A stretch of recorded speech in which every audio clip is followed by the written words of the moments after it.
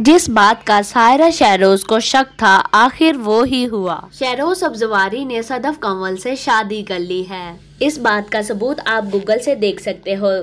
जैसे कि आप पिक्चर में देख रहे हैं कि शहरोज सब्जवारी ने अपनी फैमिली की रजामंदी के साथ सदफ कंवल से निकाह कर लिया है।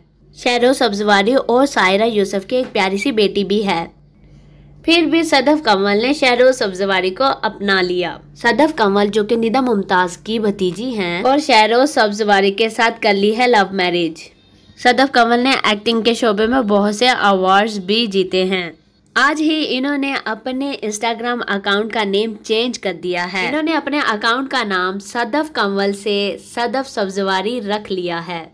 सदफ कंवल ने अपने अकाउंट पर अपनी वेडिंग पिक्चर्स भी नशर कर दी हैं। जिसमें ये शहरों सब्जवारी के साथ काफ़ी खुश दिखाई दे रही हैं। दूसरी तरफ़ सायरा यूसुफ का कहना है कि सदफ कंवल उनके सेपरेशन की जिम्मेदार हैं।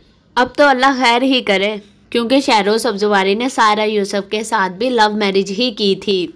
और अब इनका लव सदफ कमल बन गई है। खैर हम तो अच्छे की ही उम्मीद करेंगे। अल्लाह इनकी जोड़ी सलामत रखे। किसने किसका दिल तोड़ा और किसका जोड़ा ये तो अब आने वाला वक्त ही बताएगा। खैर एक दूसरे के साथ इस तरह रहने के बजाय इन्होंने बहुत अच्छा किया निकाह कर एक बार फिर बता दें कि सदफ कमल और शहरोज सब्जवारी ने अपने रिश्ते को निकाह का नाम दे दिया है। ऐसी मजीद अपडेट्स के लिए मेरे चैनल को सब्सक्राइब कर दे।